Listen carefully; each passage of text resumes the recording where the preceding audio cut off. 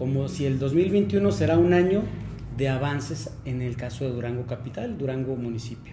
¿Cómo lo ves? Mira, eh, siendo muy franca, pues bueno, obviamente se, se prevé un año complejo en todos los sentidos, al menos en lo, en lo económico, ¿verdad? Obviamente el tema de salud que estamos viviendo eh, hace muy complejo pues la situación económica. Sin embargo, para el tema del gobierno municipal, me parece que sin duda alguna será un año de avances. Y, bueno, pues tenemos que eh, pararnos en el presente, en el año 2021. Sin embargo, sí decirlo que en el año 2020 hubo muchísimas, eh, muchísimos avances en el tema de infraestructura, en el tema de, del agua, en muchas cuestiones del gobierno municipal, de los propios servicios municipales, y que esta dinámica va a continuar para el año 2021. ¿Y qué, qué, significa que un gobierno municipal dé servicios de calidad, de buenos servicios municipales y le invierta a cuestiones de infraestructura? Pues bueno, que deja, deja pues una base, una base sólida para que los propios empresarios puedan tener más garantía de, de invertir, de, de, generar mejores condiciones para sus propios negocios. ¿Cómo se encuentra el alcalde en su salud? Bien, bien, Héctor. Es, él está en, bueno, la verdad en recuperación también, hay que decirlo.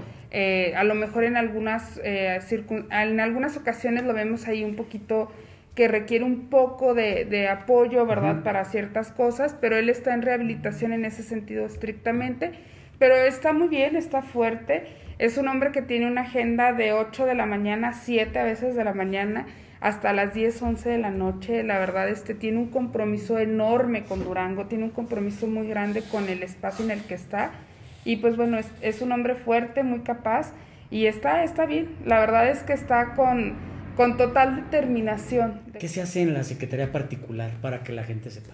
Sí, bueno, pues bueno, la Secretaría Particular es un área meramente de staff, de apoyo del propio presidente.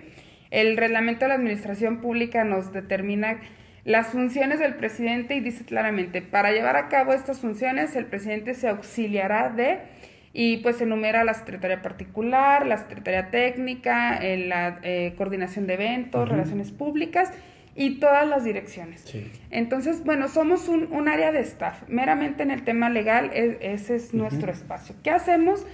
Pues bueno, lo que el, el, presidente nos determine hacer, ¿verdad? Lo que él nos delegue como responsabilidades. Y en ese sentido, pues yo estoy muy agradecida y soy muy afortunada porque el presidente Jorge Salún, pues me ha dado toda su confianza, ¿verdad? Y me ha pedido que, que trabaje también a veces como vínculo entre la sociedad, cuestiones de gestión. Tenemos un área específica de gestión en la Secretaría Particular, en donde vinculamos todas las solicitudes que llegan al presidente a las diferentes direcciones.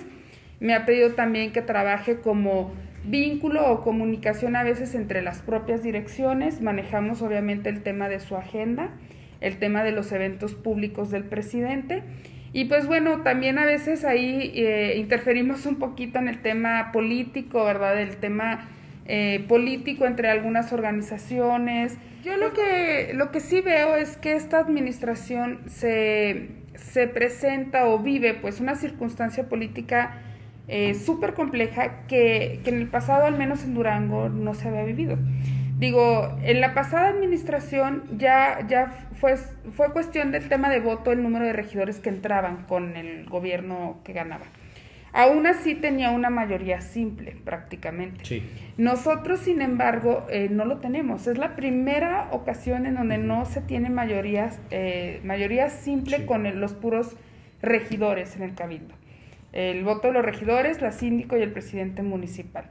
Eh, decirle a todos los duranguenses que esta administración está trabajando fuertemente para que a Durango le vaya mejor, para que avancemos realmente juntos, la sociedad y el gobierno.